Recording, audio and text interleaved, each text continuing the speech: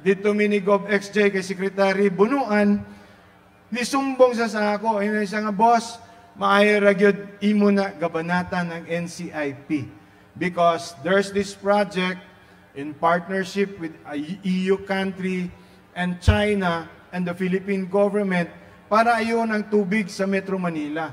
Pero gibabagan sa IP, nangayo, nag-extort ang IP. That's why I told them in Camiguin, there's no IP.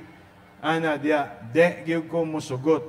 And nakita na ako ilang latest meetings, gang kuno nila tanan atong bukid. Bisan pag naakay titulo sa imong ah, yuta, ang kunon anang buang IP, isyuhan na nila kadti kunuhay, imbis Torrens title, kadti, pwede na naila. Kabalo ba mo, kung sa ilang giangkon karon sa kamigin asad sa tumbukid? Ha? Kabalo mo? Ang kanang Holy Rosary, og ang simbahan sa Sagay.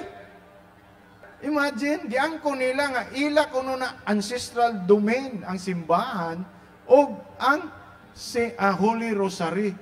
Of course, gidebunk na ako na there's no such thing as truth, that there's an IP in the province. They never were an IP in the province of Camiguin.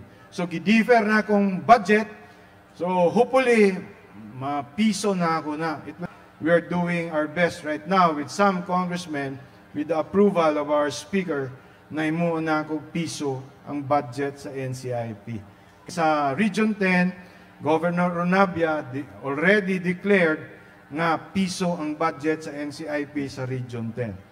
Then why not, why only in Region 10, but the whole of the country? Ana, para di sila magsamok-samok